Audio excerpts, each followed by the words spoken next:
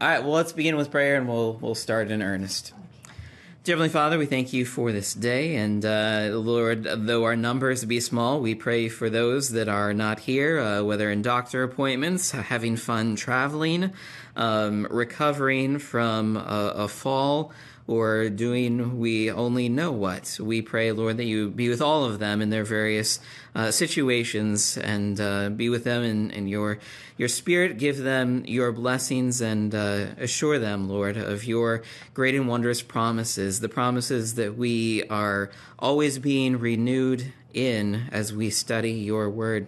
Uh, help us this day as we uh, read a couple stories here from Mark's Gospel and um, help to help us to learn how to uh, read your word, uh, to have the, the tools, the questions to ask, to be able to get the most from it, or at least to get something from it, and to know, Lord, that your Holy Spirit is, is the ultimate guide in all of these things. In Jesus' name we pray. Amen.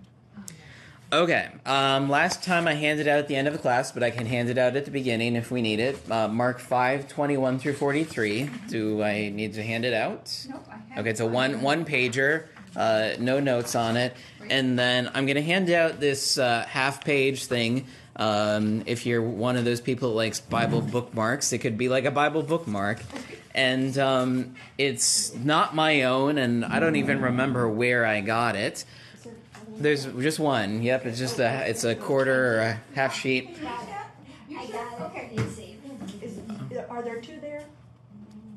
Uh, Well, that's fine, one. that's fine, I'll just look at this one. I have seven of them. I have more than enough. Okay. Yeah. You only passed me two. and- Oh, sorry. They but they, stu- they stuck together, and I thought there were more. Okay. Um, and this again, it's not my own, but it's it's pretty helpful to me because one of the struggles we have when reading the Bible is we may not know where to begin, and without a approach, without a um, guide or direction, sometimes again it's it's overwhelming. Uh, you always need to know you're never going to read the Bible and know everything. In fact, the Bible's not really even that kind of a book. It's not about knowing everything. Again, this is the the living Word of God, um, and we come to it, and God meets us in it. Uh, it is His Word, and the Holy Spirit is at work in us, and so. Um, I, I view it more as as the the Bible is a part of our relationship with God.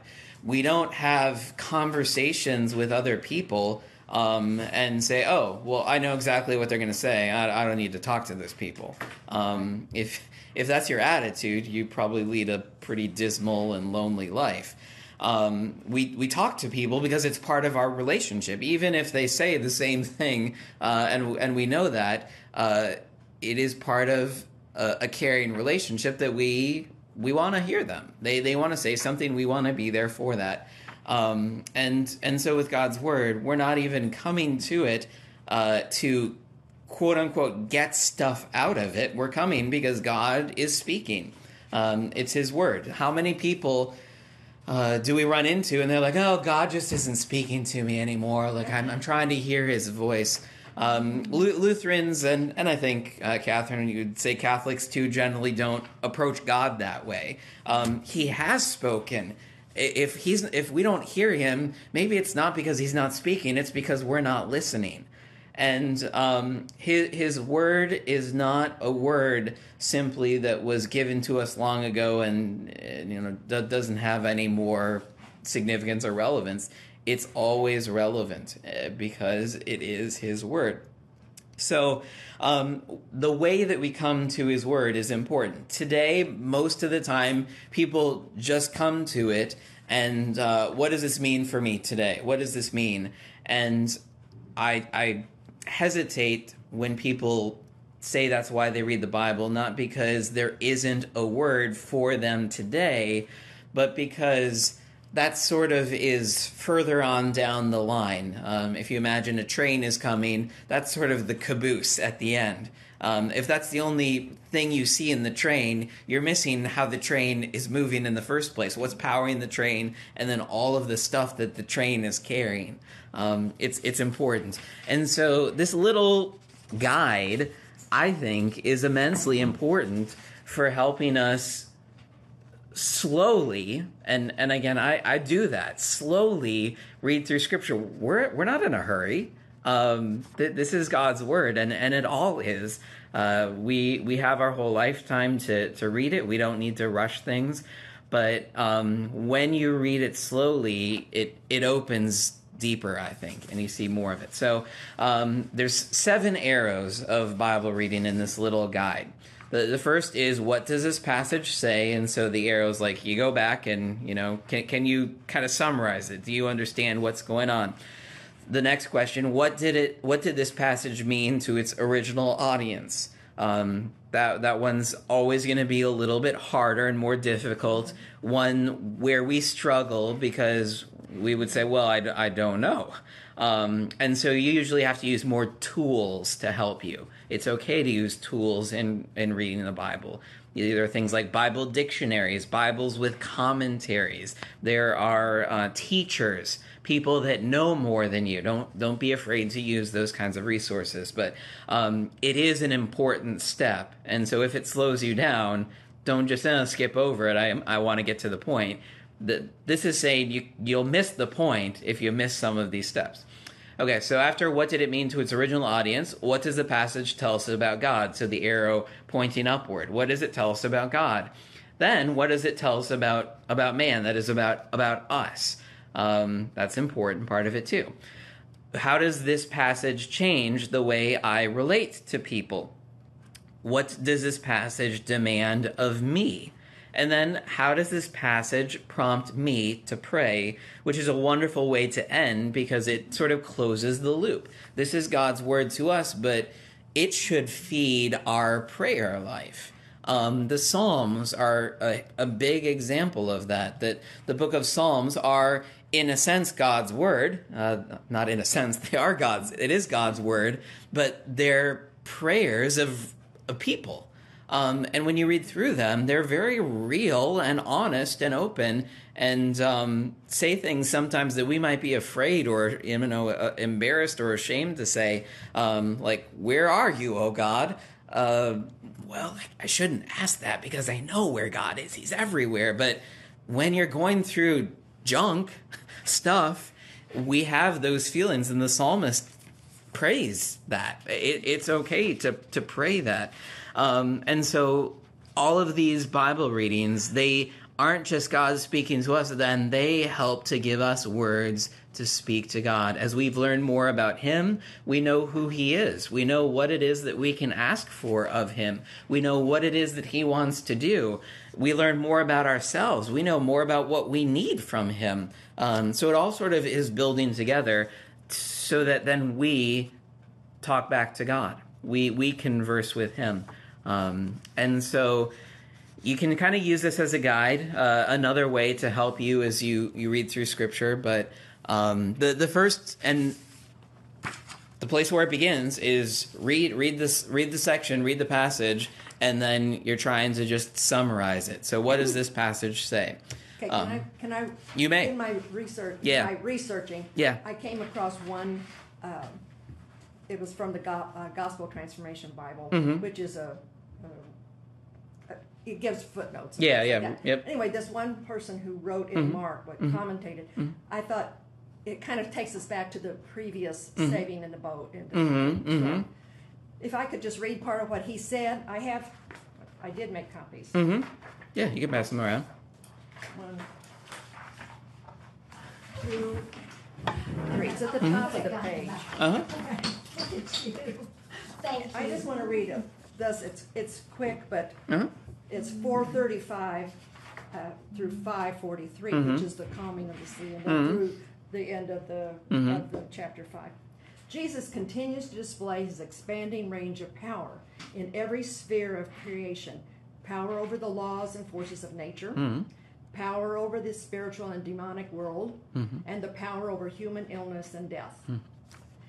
Jesus is not merely a, a, political Messiah along the lines of the Davidic king. Rather, this Messiah is God, the eternal Son, and it give some Bible verses mm-hmm. that you can look up. He is Yahweh, come in the flesh. It is crucial to realize this, since only God has the power to deliver and to save from the brokenness of our world and the bondage of sinful rebellion against Him.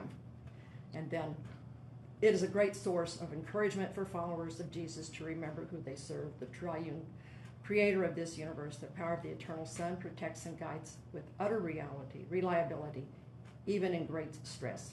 Anyway, so Mhm. just I just thought that was kind of summing and, Mhm. and drawing the previous lesson Mhm. to this. I mean, the, Yeah. the three ways Yep. power over the laws of nature, over this uh, spiritual and demonic world, Mhm. and power over human illness and death. Yep, and you'll note that that little um, three paragraph thing, the way that it, it develops is sort of along these lines, right? It's first trying to understand what's what's going on in this story, and then it it talks about you know in, in big in bird, bird's eye view. So the previous stories were about a miracle where Jesus has power over nature, and then power over the spiritual world, and now this is power over human illness and death. So it's just it's it's giving you the bird's eye view. Here's what's going on, and then it's it's connecting this to Jesus's mission and understanding who he is. So what does this passage tell us about God? Um, and then it moves into that third paragraph. What's what's this going to mean for us? Um, so followers of Jesus, that's that's us. So uh, it's it's it's it's good to see that happen in other people and how they kind of do it because again, um, I, I I don't really disagree with anything here, but you see that it got it came to that it comes to that conclusion by first understanding what's going on in the in the reading understanding how that fits in in the big picture of the bible what it says about god and then well who who are we and we're, these followers of jesus what is it going to mean for us that jesus has you know this identity um, and and there's great comfort in that for us um, so so yeah, that's that's a, a good it's a good resource. Uh, it's a good use of some of those tools to help you. Again, what what is very overwhelming um, for people is making all these connections. So all of those Bible verses and whatnot um, that are in parentheses, you, you can go look them up, and they they probably won't tell you anything new but you'll you'll see again how it all connects how the story is all there how god has um, been working this this one plan and um, who jesus is. But for for you you you wouldn't have been able to find those verses maybe just on your own. Um, so again tools are are helpful and it's good to be able to use those.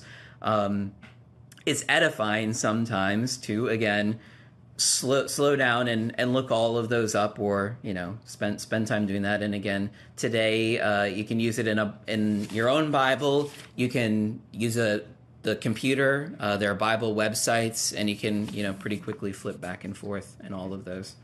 Well, I hope I, I didn't want to interrupt, but Yeah. I didn't want to be uh, off track. either. Yeah, no, you're you're you're you're not on you're not off track. I just want to go back one step though. I handed it out to you, but we never read through the story together. So we're just going to read through the story, um, and then we'll we'll come back. But you're you're you're doing the right things. So I'm just going to read it straight from the handout. Mark 5, 21 through 43.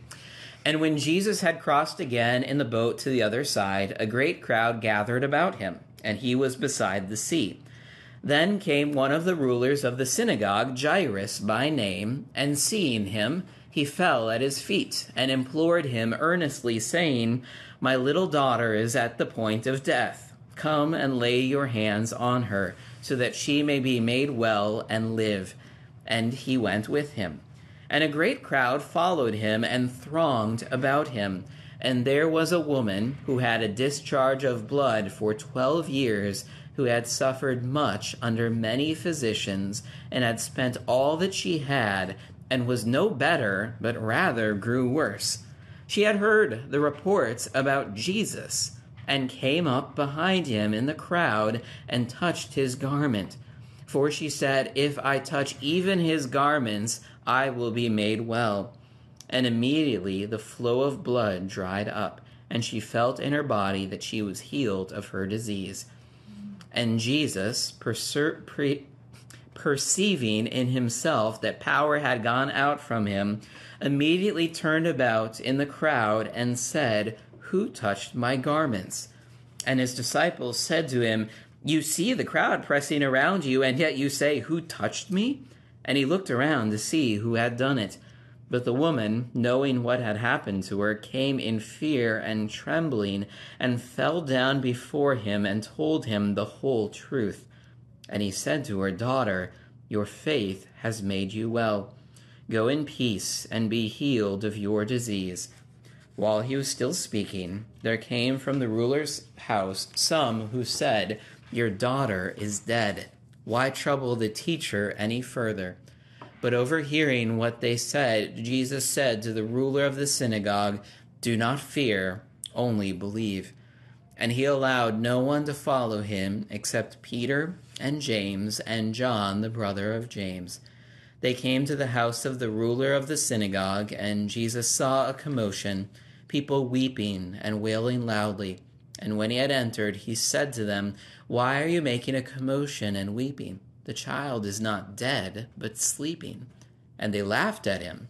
But he put them all outside, and took the child's father and mother, and those who were with him, and went in where the child was. Taking her by the hand, he said to her, Talitha Kumi, which means, Little girl, I say to you, arise. And immediately the girl got up and began walking, for she was twelve years of age and they were immediately overcome with amazement. And he strictly charged them that no one should know this, and told them to give her something to eat.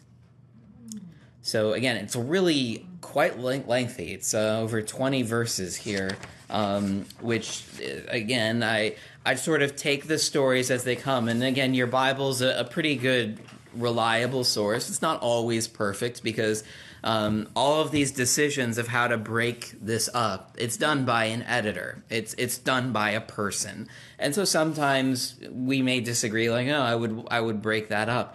But you can see here um, how many stories is this? Is it one story? Or is it is it two stories? There, there's there's two things that are happening and and in a sense they're distinct um, two two very different things. One, a story about a synagogue ruler, a guy named Jairus, um, and his daughter is sick. Turns out his daughter dies, and then Jesus will bring her back to life. That's that's one full story. But then, crammed here in the middle of it is this other distinct whole story of this woman uh, who has um, this this hemorrhaging, this bleeding uh, and she hasn't been able to find any relief from this, but then touches Jesus and she's healed, and then the the conversation that happens afterwards with with Jesus. Um, that seems to be its whole a whole distinct story, but it's happening right in the middle of this story about Jairus.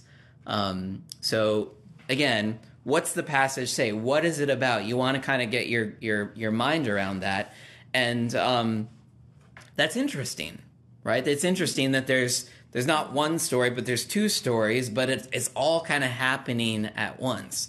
Um, and again, just just that detail. Um, that there's something unique about that. Mark has done this before.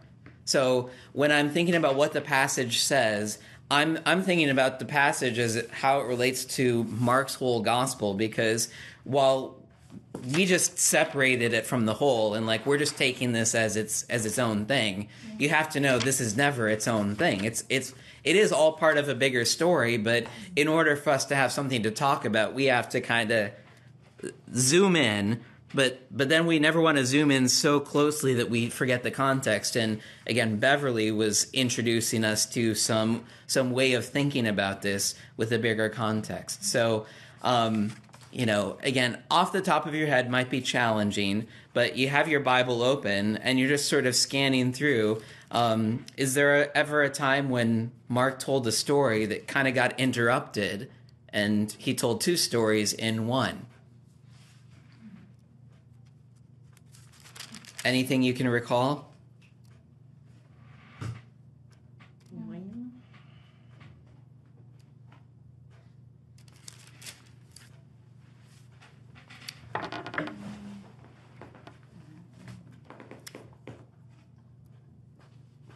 So the story about Jesus and his family. His family thought that he was out of his mind, and it's in chapter 3. So in my Bible, here's here's an instance where the Bible doesn't help me at all with this. So my Bible has a heading for Jesus calling the 12 apostles. That's in Mark 3:13. Okay. And then as a part of that, uh, it has the whole thing about Jesus choosing uh, the 12 apostles and then verse 20 then he went home, and the crowd gathered again, so they could not even eat. And when his family heard it, they went out to seize him, for they were saying he's out of his mind. Well, frankly, that little paragraph has nothing to do. Well, it, it, it, seems like a different topic than the 12 apostles. So if I were to do the heading there, I probably would have separated this paragraph 13 through 19 from paragraph 20 um, just because they seem to be differently different. But then the next section after that is the scribes, and remember, this is when the scribes came and said he's possessed by a demon. That's why he's doing this. Um, but we were left hanging because in verse 21, when the family heard that, they went to seize him for they're saying he's out of his mind. So it's like Mark is like on the verge of they're almost there to grab him and then he like completely changes the story and now we're hearing about the scribes and they're saying that he's you know he's possessed by a demon. He's he's possessed by beelzebul. Um, and then you had that whole story for 22 verse 22 through 30 and then 31 picks right back up with his mother and his brothers came and standing outside they sent to him and called him and so the story begins really in verse 20 about his family. They're wanting to take him out of there because they think he's crazy. But then that story was interrupted by the scribes and their verdict about Jesus.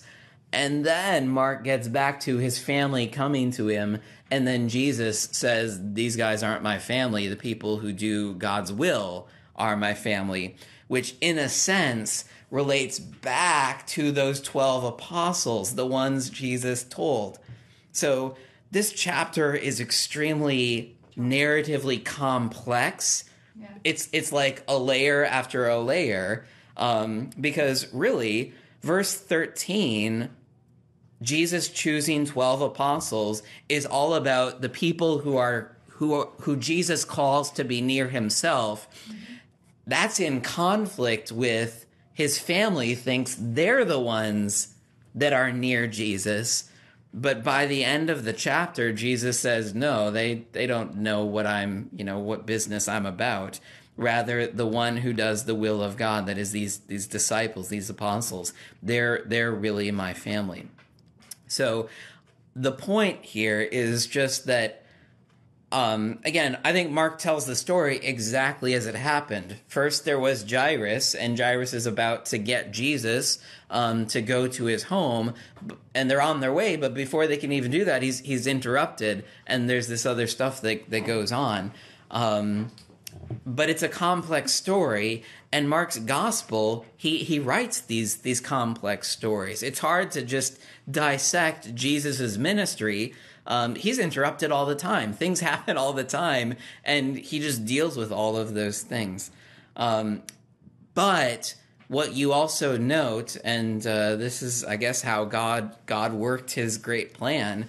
The things, the stories are all connected and related, um, and so while we might want we might want to just follow one storyline and say, oh well, let let me just hear about Jesus' family, and I'm just going to ignore that that paragraph about the scribes coming. I'm just going to ignore that. Um, you really miss something.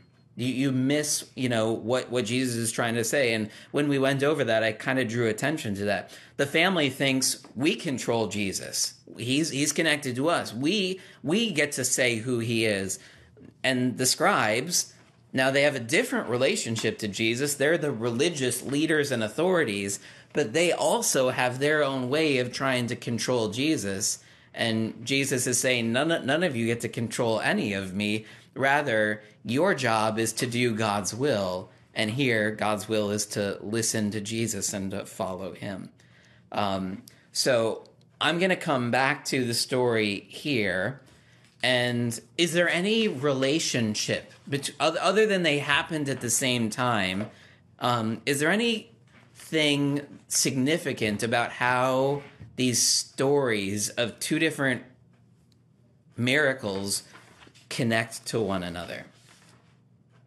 Well, both in both instances, he said, "Do not fear, do not be afraid. Let Okay. your faith Mhm. you." Yeah, Yeah, yeah, yeah, that's what I underlined too. yeah. That So key sentence. Yeah, fear and faith in both of those um, are, are are big things.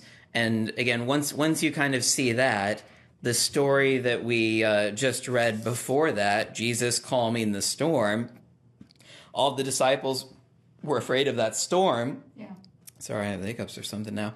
And um, they wake Jesus because they were afraid. And then Jesus calms the storm.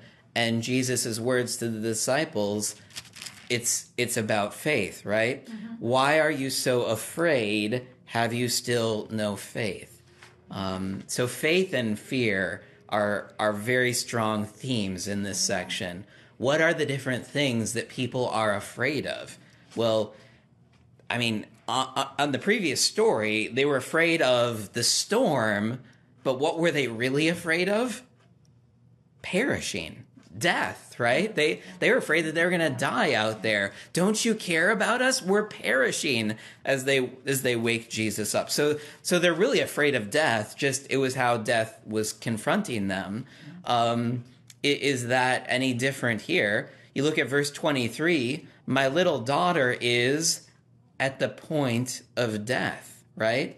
Um, and this woman, while it doesn't say that she's at the point of death, you, you look at the description of her. She's she's had this discharge for twelve years. She's suffered. She's spent everything. She's no better. Rather, she's growing worse.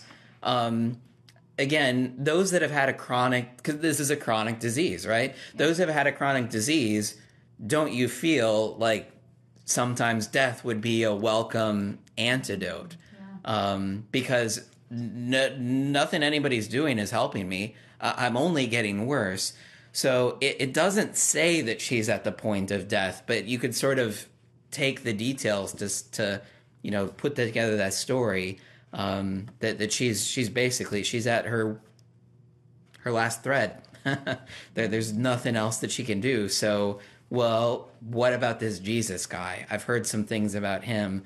You know, wh- why don't I try that? And if I touch his garments, is verse 28, I will be made well. Um, that's that's what she wants. So, um, 33 that brings out her fear and trembling. But do you notice? Up until then, there was nothing that said specifically that she was afraid, right? Um, there's a description of her in verse 25. Verse 27, she hears the reports. Verse 28, if I would just touch him, I will be healed. Um, and then she does in verse 29. And then 30 is now Jesus. And he says, Who did this? Who touched my garments? Verse 32, he looks around. Verse 33, she comes to him in fear and trembling. So that's interesting to me because where is her fear in the story? It's after she's already been healed, after she's already been made well, which should again remind you of the previous story Jesus' disciples. Yes, they were afraid when the storm hit, but what happened after the storm ceased um, in chapter 4 uh, verse um, verse 41 uh, well so verse 40 have he said jesus said to them why are you so afraid? Have you still no faith? And 41 the disciples it says they were filled with great fear and said to one another who then is this that even the wind and the sea obey him um, they're they're pretty afraid of Jesus. Um, the story after that, the, the demon possessed man, Uh, they want Jesus to leave after he has performed this miracle. And uh, one of the reasons that they want to do it, I think, is because they're a little bit afraid of Jesus. This is a, a guy with tremendous power, um, and we don't we don't know what to do. Is that what this woman is? Is her fear connected to that? Because she's not fearing death anymore. I don't think she's made well. Um, she's been healed. Why, why, why fear and trembling? So there's fear there, but is it a different kind of fear? Yeah. Well, she did not ask permission to touch him, and so it's Mhm. like she's afraid that he's going to rebuke her and take it back or something. Yeah. You know, it's like, Yeah. I feel great, but oh Yeah. gosh, maybe I shouldn't have done that. Yeah, there there might be fear of unworthiness, um, and she did she she did a no no, and again, really she she did. So this this is a thing that you may or may not pick up on, but this would be part of what does this original passage mean? What does the passage mean to its original audience? When you hear the description about her, she's a woman who had a discharge of blood for twelve years So she's unclean. she's unclean. So to the people in that day, that would communicate. Anytime you see blood or hear blood in the Old Testament, unless it's connected with the sacrifices, that's the only kind of good blood that that heals or forgives or cleanses. Any other contact with blood makes one unclean. So again, a woman when she has her period, she she's ceremonial unclean. A woman when she gives birth and there's a discharge, she's ceremonially ceremonially unclean. Whenever you come in contact with death um, and blood, the life force of a person, you're unclean. And what does it mean to be unclean in that society? You're ostracized. You're- You're led away to someplace else to live for. You're contaminated, you're ostracized, you're cut off. You're not to have contact with other people during that time because uncleanness is contagious. Uh, it, it spreads. Again, this is the way this is the way they think about and, and treat it. Um, we understand that with disease, and, and we would say that was probably a really smart thing in those days when they didn't understand diseases. That if you had a disease, you were cut off because that would that would stop it from becoming a pandemic. But some of these other things, again, we we don't understand and say, well, that's awfully unfair um, to to do this to people. Um, nev- nevertheless, these these were the the way that they lived their life. And so when you hear this, that she had this discharge for 12 years, um, again, we don't know was it happening all the time? Where there, you know, is it like a having having a period that it came and it went, you know, wh- whatever. But for 12 years, she sh- she shouldn't have been out among people, and the way that this is talking, she was experiencing it at that moment um, because it says immediately the flow of blood dried up and she realized it or she she she felt it in herself. Um, so she should not be in a place where the previous verse emphasized this. Jesus is there, verse 24, and a great crowd thronged about him. So in order and then the disciples' reaction, what do you mean who's touching you? There's there's hundreds, hundreds of people here. So this woman and her fear, she really was extremely daring and again, you know, broke the rules. Yeah. Um, but we've seen Jesus, he's okay with breaking the rules. Remember about the Sabbath, that great controversy that, you know, well, you're not supposed to heal somebody. And Jesus says, is it better to to do good or to do evil on a Sabbath? And he's the Lord of the Sabbath, and he brought a, a bigger understanding. So um, again, this woman doesn't know it, but if she's going to break the rules around somebody, Jesus was the right person to break the rules around Yeah. because he he got it. Um, yes, if you're healed on this day, you're brought back into the fold. That's that's exactly what's going to happen. But you certainly don't want to miss her flow of blood means that she should not be anywhere near people. Um, and yet here she com- she came secretly into the crowd. Um, she she would have been contaminating everybody, and um, that would have been a, a great thing. So she that could possibly be one of the things that she's afraid of. Uh, I I did this for the wrong reasons, and now Jesus is going to take it back. It could have been even more severe. Um, in in their rules, um, th- this would be going on a different scale. But they had rules about holy places and unholy people. And if unholy people went into holy places, the consequence could even be death. Um, so the the big, for instance, is the holy of holies, the most holy place in the temple. Only the high priest could enter there. If anybody else entered, they would be struck dead. And only on the day of atonement, only one day a year, was the high priest allowed to enter in, and that was to perform the sacrifice on behalf of all of the people. Um, and so, again, there are rules about that. And Jesus is holy, whether, whether the people recognize it or not. Remember how he was addressed by one of the demons? You're the Holy One of God. So here you go. You, you have this woman doing this incredibly uh, amazing thing. So that's that's part of the intrigue about her story. Um, that that she should not be here. She should not approach Jesus.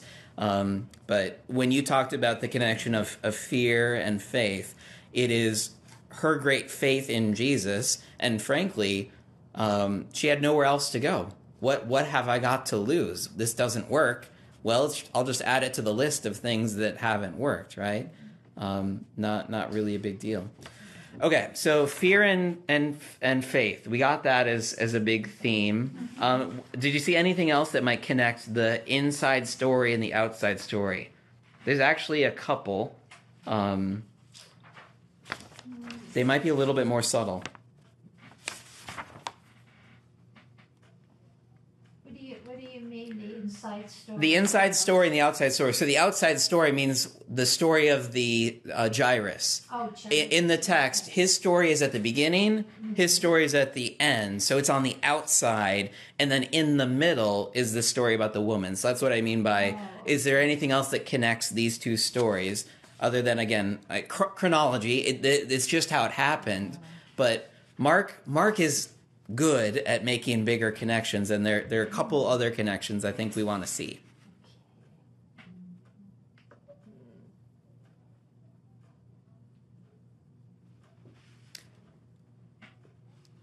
look at the identity of the people who need healing and descriptions of them.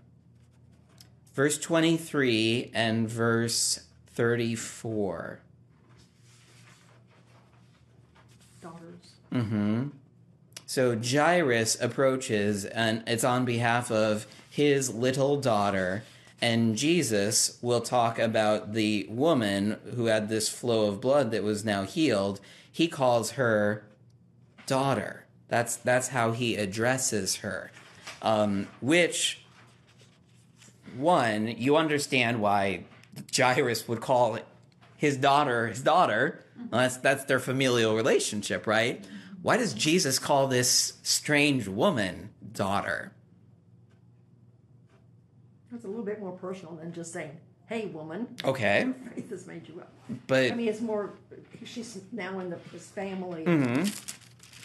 The it's familial. Yeah. uh, So again, th- things are all connected. Chapter 3, verse 34, Jesus, looking at those who sat around him, he said, Here are my mother and my brothers. Whoever does the will of God, he is my brother and sister and mother.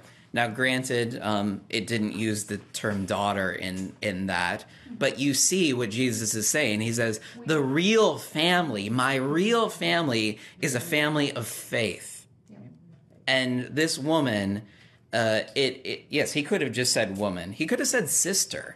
Um, but but daughter um, do you see the the love and tenderness there right? It's the same love and tenderness that Jairus had for his daughter. And do you see the panic in Jairus? Jairus he comes to Jesus and he's he's he's bowing down before him. He's on his feet before Jesus. And he's doing that because he loves his daughter. He believes in Jesus, but he loves his daughter and has come on behalf of her. And so you see his tenderness for his daughter, but that's matched now by Jesus's tenderness for this woman. And again, think about her life the last 12 years. She's she's been cut off from people. But but here is is Jesus like a father to a daughter speaking to her um, and and bringing her back into a family, and in fact giving her a, a new family because she previously doesn't have a connection, a relationship with Jesus. She just is seek, seeking him out because she's heard stories about him. Um, but but now Jesus calls her a daughter, and um, so that activates a whole bunch of Bible stuff about the family of God, right? Um, and so, again, to use some of the tools, you, you could look up things, uh, different words about about family: son, daughter, child, children, um, children of God, brother in Christ, sister in Christ, and and you would see again how this it, it just all connects so well. Um, this the, the tenderness that Jesus has for this woman he has for all of us. Um, Behold, what manner of love the Father has lavished upon us, that we should be called the children of God. She's a child of God. We we all are. Um, and how is it that we are children? By by faith. Your faith has made you well. So again, verse 34 and 23 are are parallel. My little daughter's at the point of death. Come and lay your hands on her so that she may be made well. 34. Daughter, your faith has made you well. Right? Jesus is the one who makes all people well. Um, he says more to this woman. Um, I'm sort of skipping over it, but it is important. Go in peace. That's a big thing. Go in peace. Uh, be healed of your disease. Uh, well, I mean, she technically already was, but Jesus just confirms it and verifies it. Um, okay, so that's a big connection. So the daughter, there's daughters in both of this. One is a daughter of Jairus, but the other one is Jesus. Jesus calls her his daughter, which again makes no sense biologically. This isn't his daughter, but it is a, a, a way of seeing Jesus's connections to us are, are different than just flesh and blood. Okay, the other one's pretty subtle, but you'll see it and you won't be able to unsee it once I point it out. Um, look at verse 25 and then look at verse 42 and tell me the connection.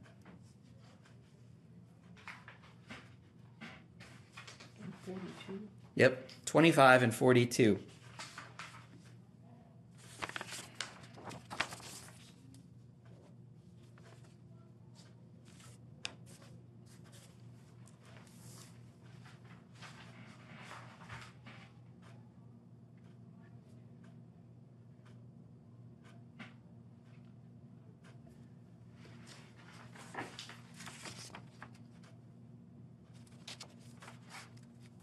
Like, I'm not hiding something. This should be very, very obvious. They're both About walking. the 12 years? Yeah, 12 Yeah. years. So she's had this discharge for 12 years. This wo- this this man Jairus, he's had his daughter for 12 years. Um again, Mark doesn't say about and so he's not just like using like cuz 10 would be an easy about number. Um 12. Wow. Uh and 12 one, just in this story, both of these people um, have significance of 12 in their life. So she's been ill for 12 years. This man has had this child in his life for 12 years and all of the, you know, the love. Uh, my daughter's 11, not yet 12.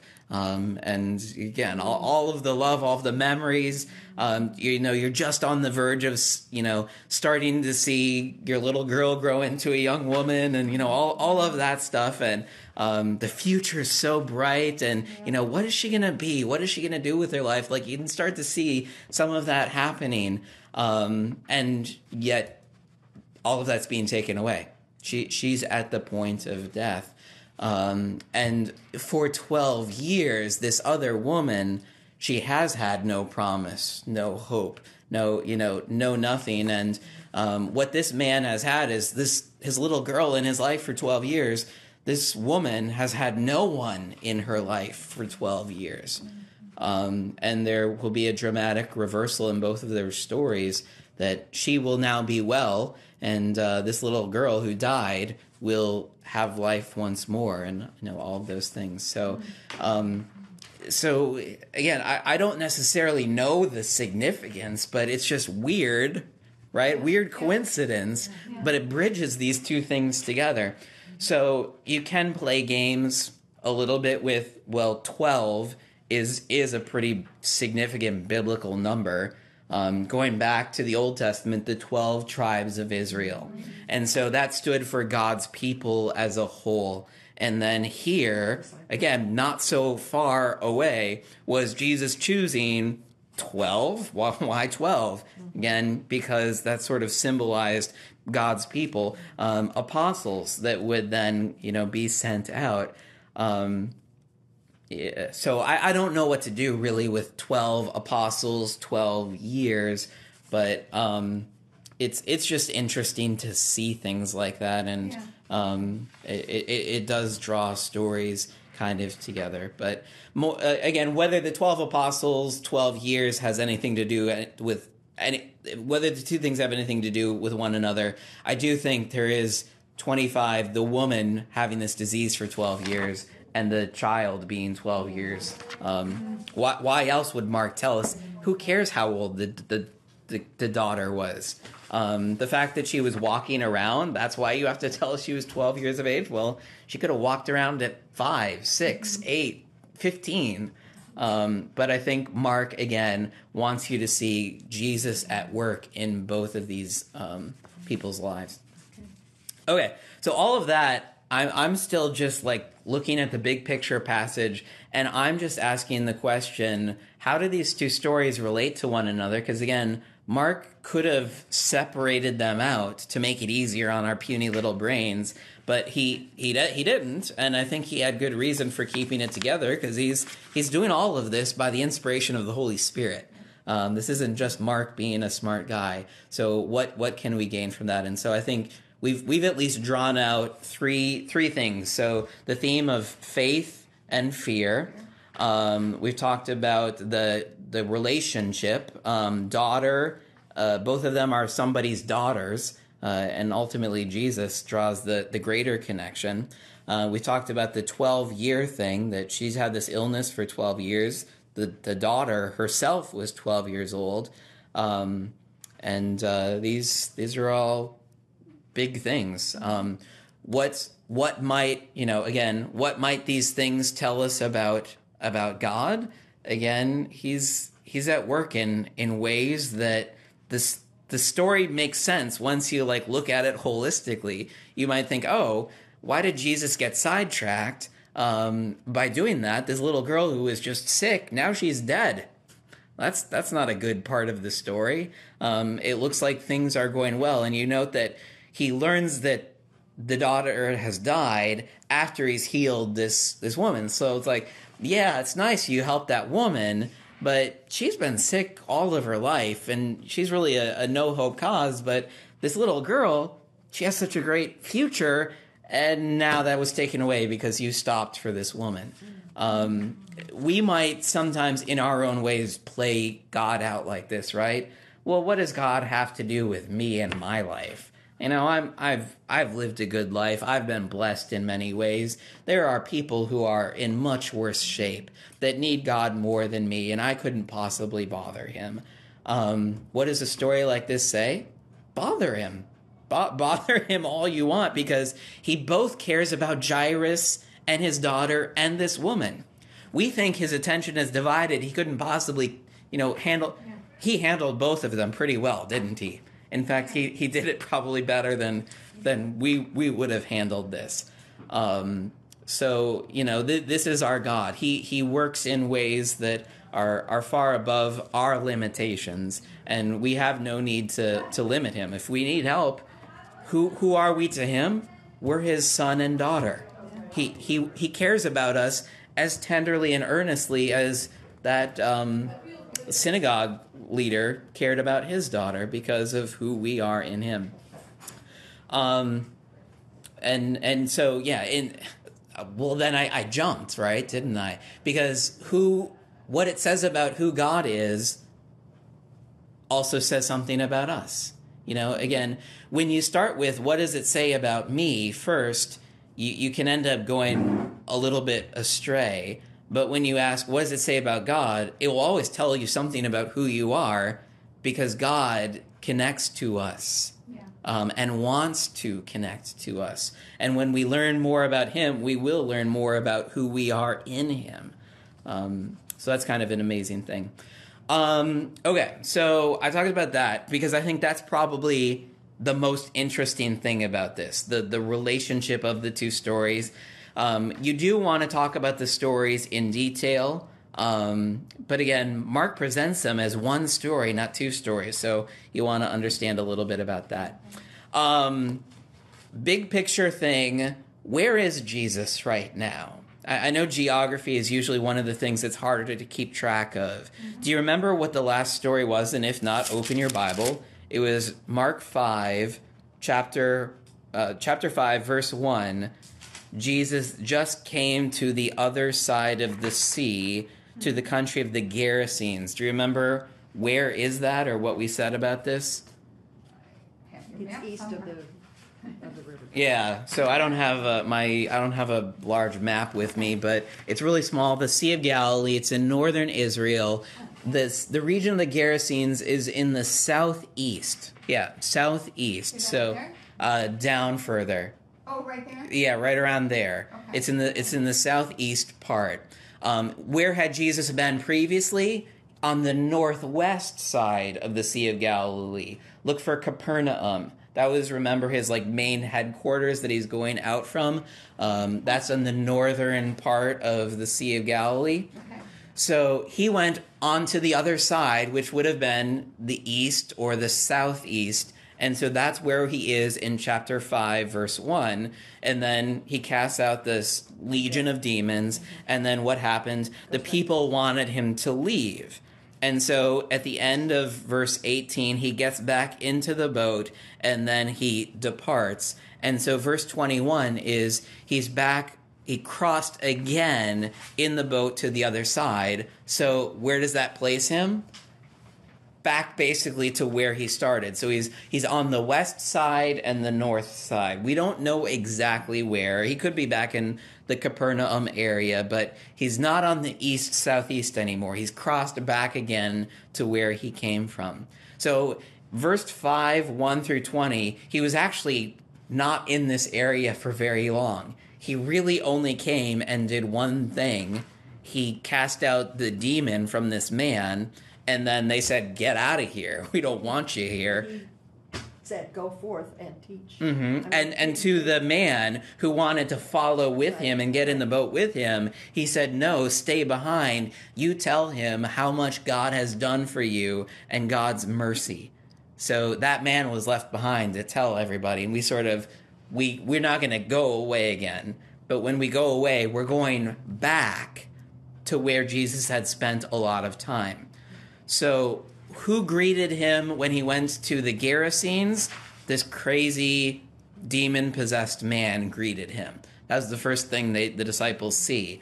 Who greets him now in verse 21 when he comes back to the other side of the sea? A great crowd. A great crowd gathered about him. So, this is, again, just paying attention to context. The great crowd, these are Jewish people. So, these are people that understand Jesus in light of like the Old Testament. So, um, to her note here, the Davidic king, the Messiah as the Davidic king. They're looking for this this conqueror, this powerful person, and Jesus, he shows great power. He's done amazing things. So they're thinking this is only validating Jesus has to be this one. But Jesus really has an odd relationship with the crowd. He, he leaves the crowd. He had just been teaching them parables alongside the sea. He has a great crowd. If all he wanted was a crowd, he should stay there and the crowd would get bigger and bigger and bigger. But we remember in Mark's gospel, he doesn't just stay for the crowd. He he goes off into the quiet places. He tries to get away from the crowd. Here the crowd is back. He didn't have a crowd in the Gerasenes. Just just one person. Why? Because they weren't Jews. They're not waiting for the Messiah. They're not waiting for Jesus. Um, the only time the crowd came was after he exorcised the demon, and the crowd didn't come to learn about him. They came to get him out of there. So, in a sense, he's coming back in verse 21 to his people, and his people are there. Good things, right? They're they're welcoming him. Um, he's beside the sea, so it's basically like we've returned to chapter four, verse one. Chapter 4, verse 1 Again, he began to teach beside the sea, and a very large crowd gathered about him. Um, th- this is this is sort of where uh, where he's been. Chapter three, verse seven.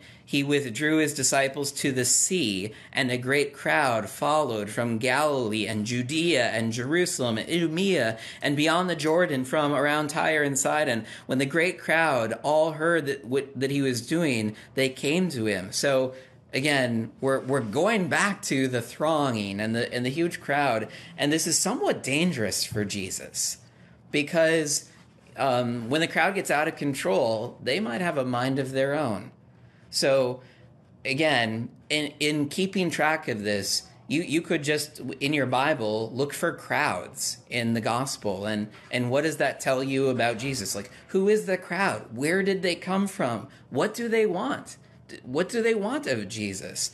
Um, and and note that the crowd isn't the disciples, the, the apostles. They, they they they come from the crowd, but the crowd is sort of like in a middle space.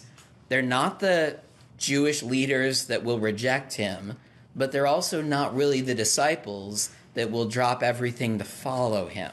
They're they're just kind of waiting it out or something there.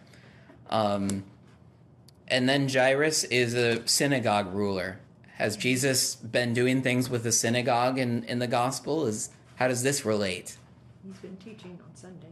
Yeah, he's On on the on the Sabbath. He's been teaching in synagogues on the Sabbath. Um, that's been a place of you know where he's been known. So you, you kind of have that. So when a ruler of a synagogue comes, again, Mark doesn't give us any detail. Was that one of the synagogues that he'd been teaching at before? So Jairus knew Jesus um, really, really well, or was this just somebody who, again, happened to hear about Jesus, and it just so happens this guy was also a synagogue ruler, but it it does it does connect back to Jesus's teaching. Um, but this the synagogue really doesn't want Jesus for his teaching; he wants him for his healing. I want you to heal. So that's interesting.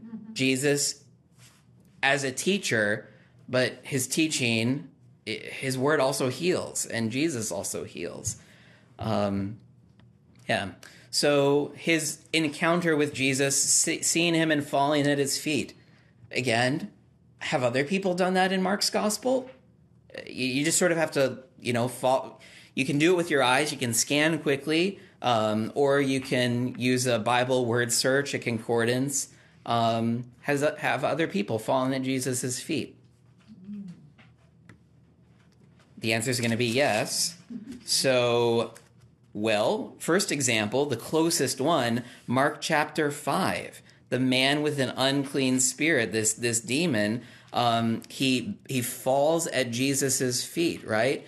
Verse chapter 5, verse 6. When he saw Jesus from afar, he ran and fell down before him.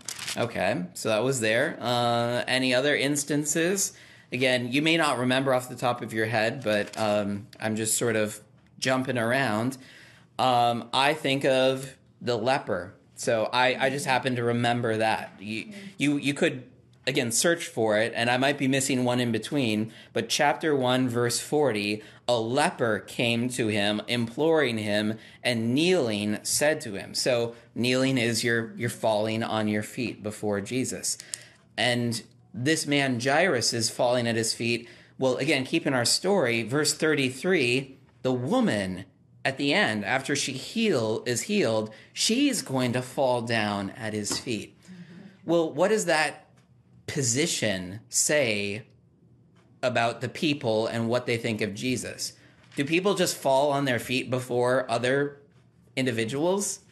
Is that a way that you greet somebody? Not I'm- not you not usually. imploring type of Mhm. situation. I mean, when you're, you're, it's like you're begging. Mhm. I implore you to Yeah. help me. Yeah. You, you're putting yourself at a person's mercy. Right. So it is a posture of um, of a request. You, you, you, you are showing that you have no demand. Um, there's no reason why this person needs to listen to you. You have no power over them. So it's a posture of of begging, of Humility. pleading, humility. Yeah. Um, it's also a posture that recognizes power.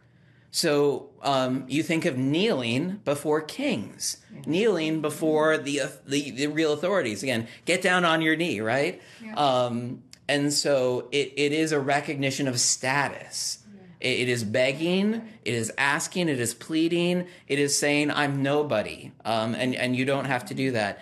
Um, and you, you can kind of compare and contrast. This guy's a ruler of the synagogue. He's he's pretty well to do. You don't get to be that kind of a person without being a person of great respect and authority in your community. I see we're out of time. I'm just going to finish this thought. Um, the woman she she's a she's a she's a nobody but both of them fall at jesus' feet. The man with demons he was a nobody. He fell at jesus' feet. The the leper he's a nobody. He falls at jesus' feet.